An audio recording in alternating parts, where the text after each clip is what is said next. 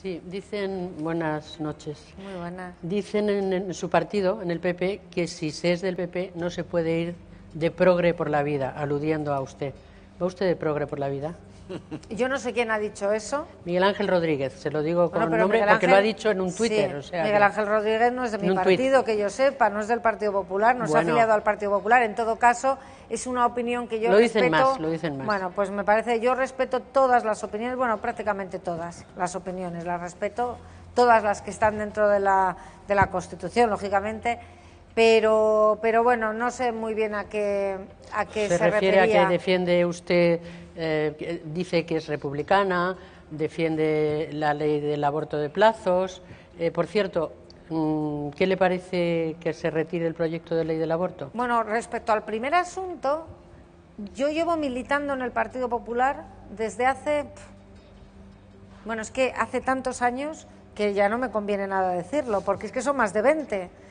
Más de 20. O sea, yo en realidad siempre he militado en el Partido Popular. Bueno, antes Alianza Popular, en el año 82 me afilié yo al Partido Popular, antes incluso. Es decir, que realmente yo no creo eh, ser dudosa respecto a dónde estoy militando. Me siento muy cómoda dentro del Partido Popular.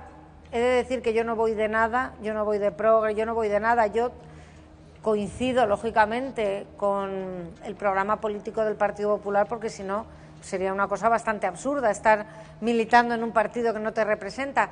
Lo que pasa es que dentro del Partido Popular, afortunadamente, nosotros no somos una secta, por fortuna. Y no todos tenemos que pensar ni pensamos absolutamente lo mismo respecto a, a todos los temas.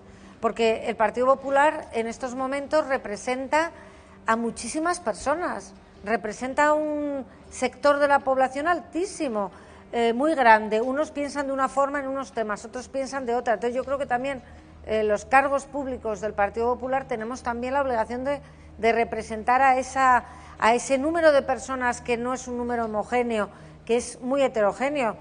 Y yo es verdad que hay en algunos temas en los que pienso de manera diferente a otras personas de mi partido, pero creo que eso no es A nada negativo. Le preguntaba de todas formas- una cuestión muy breve.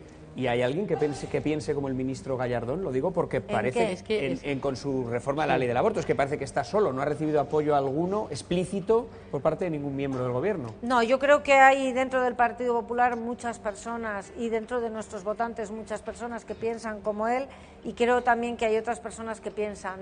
A ver, es que cuando hablamos del aborto, este es un tema especialmente delicado, porque esto no es un tema como hablar de, pues no sé, mm, cualquier otro.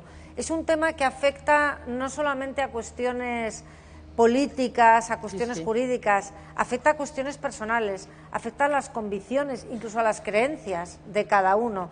Por eso es un tema, como digo, muy delicado que hay que tratar, eh, digamos, de una forma muy especial. Sí, pero- Por eso a mí me parece que es importante, y creo que esto es lo que el Gobierno está tratando de hacer, el que se trate de llegar al mayor amplio consenso social posible, en un tema que, como digo, pues es muy complicado y muy Pero yo le, preguntaba que si se alegra de que el gobierno parece que no va a sacar adelante la ley, por lo menos de momento. Bueno, yo Y ya... si se compadece de Gallardón, que ahora está muy solo. Yo ya mm, he expresado, y además lo hice en este mismo programa hace menos de un año, cuál era mi opinión específicamente sobre el asunto, pero dicho eso, mm, yo creo que mm, la obligación del Gobierno es legislar para el mayor número posible de personas. A mí he de decir que no me consta en absoluto, no me consta que el Gobierno haya retirado ningún proyecto.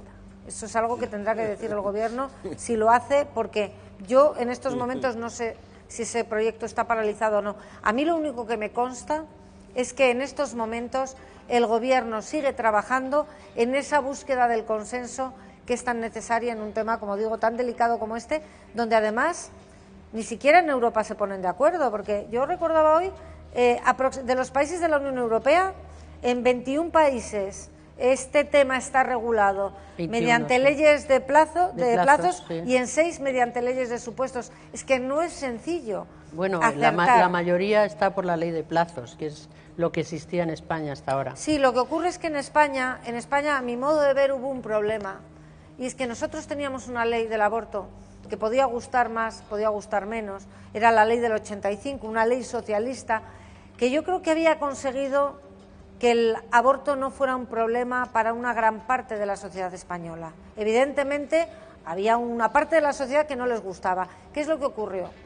Que en el año 2011, perdón, en el 2010, de manera unilateral, el señor Rodríguez Zapatero la modifica y pasa de una ley de, de supuestos a una ley de plazos. Que es la que usted defiende. Sí, no, no, ya no, lo hemos discutido aquí muchas Sí, veces. Pero, Natibel, yo no defiendo la ley de Zapatero. No, la ley de Yo- plazos. Yo no defi- pero una cosa es que yo personalmente pueda estar más a favor de una ley de plazos, pero yo rechazo de plano la ley de Zapatero. Yo rechazo de plano una ley en la cual las niñas menores de 16 Solo años por eso, ¿no? pueden votar. Es que, es que no es poca cosa. Solo por O sea, eso, que bueno, una, pero- que una niña menor de 16 años pueda abortar ya no sin el consentimiento, sino siquiera con el, sin el, eh, conocimiento de los no, el padres, a mí conocimiento me parece la que es ley, un disparate. la ley dice que hay que, que se, que se puede informar a los padres. Yo lo que le digo, Natibel, es que yo creo, de verdad, creo que aquí el problema de verdad fue la modificación que, que hizo el Partido Socialista en el año 2010.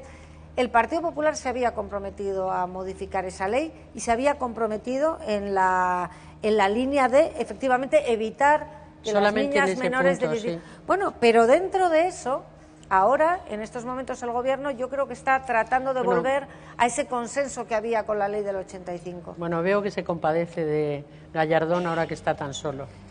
No, mire, yo no me compadezco, pero es que yo creo que compadecerse de un ministro, pues verdaderamente sería una frivolidad por parte de nadie. Yo creo que en la vida hay que compadecerse de las personas que de verdad tienen problemas muy graves y que por desgracia en España tenemos mucho. Y luego dentro de eso, bueno, pues se puede, se puede hacer una valoración u otra.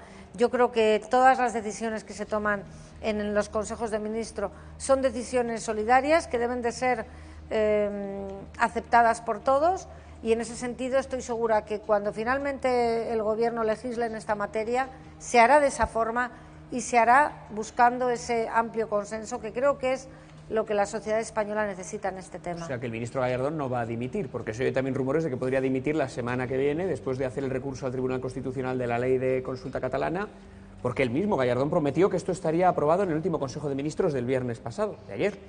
Pero usted piensa que yo sé lo que va a hacer una, otra persona, son- que yo no tengo es que ni como idea. sus palabras sonaban un poco a despedida, es verdad, ¿eh?